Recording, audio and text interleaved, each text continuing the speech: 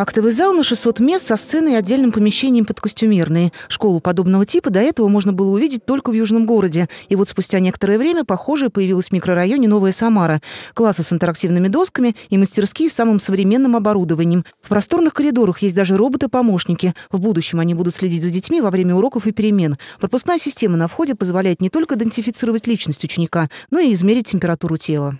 Установлен терминал, ребенок подходит, измеряет температуру и терминал. Школа стала первым в микрорайоне учебным заведением. Детей она сможет принять уже в сентябре. Остались последние подготовительные штрихи. В порядок необходимо привести газоны, прилегающую к зданию территорию и сделать генеральную уборку.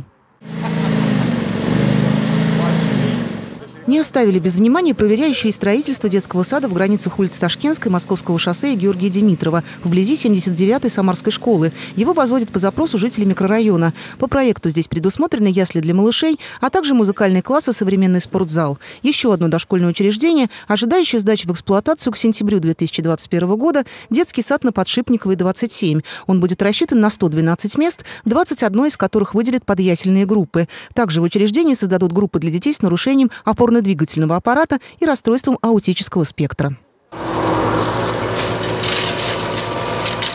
Под особым контролем главы города находятся и объекты дорожной сети, которые в этом году начали планово благоустраивать. Работы ведут на самых сложных участках проспекта Кирова и Заводского шоссе. И хотя специалистам пришлось провести небольшую работу над ошибками, ремонт дороги идет без нарушений и согласно графику.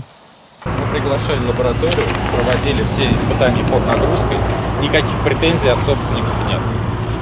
То есть все, что мы переделали, мы сделали очень качественно. Не менее качественным и красивым обещает сделать и сквер памяти борцам революции. Территория находится возле здания фабрики кухни, в котором в будущем расположится филиал Третьяковской галереи. Строительство сквера началось 4 мая. Деревья снесены именно те, которые старые, не, ну, то есть уже непригодные.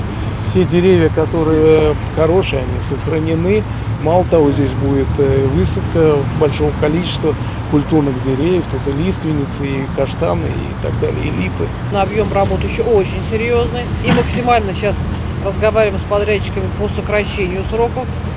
Но тем не менее, э, надеемся все графики выдержать. Преображение дворов и территорий продолжится во всех районах города. В апреле этого года стартовало онлайн-голосование за объекты благоустройства в 2022 году. Отдать свой голос можно до 30 мая на платформе 63.городсреда.ру через госуслуги или виджет «Мой выбор. Мое будущее» на сайтах администрации Самары и внутригородских районов. Ольга Павлова, Василий Колдашов, Николай Епифанов. События.